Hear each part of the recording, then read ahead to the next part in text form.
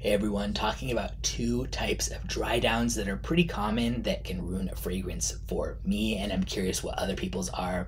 So, one, oak moss and patchouli. This has been common for decades and decades, if not centuries, in like Chypre and kind of fougere style fragrances.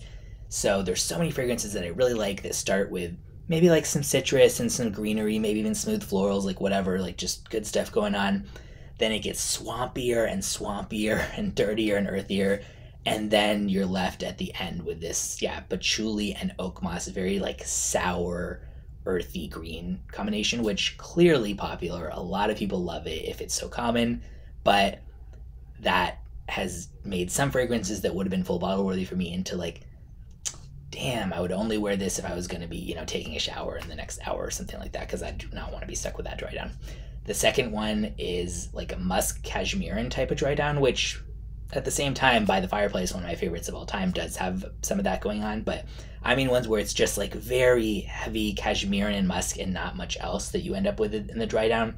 And if you're not familiar, cashmere smells like very sweet, thick, musky vanilla, kind of. And I love vanilla and I'm fine with musk if it's like white musk or even like real musk animalic style. But there's a kind that's like a very sweet, almost slightly fruity synthetic musk that's often paired with cashmere and that I just cannot stand. And that combination with the cashmere and musk has definitely ruined some fragrances for me.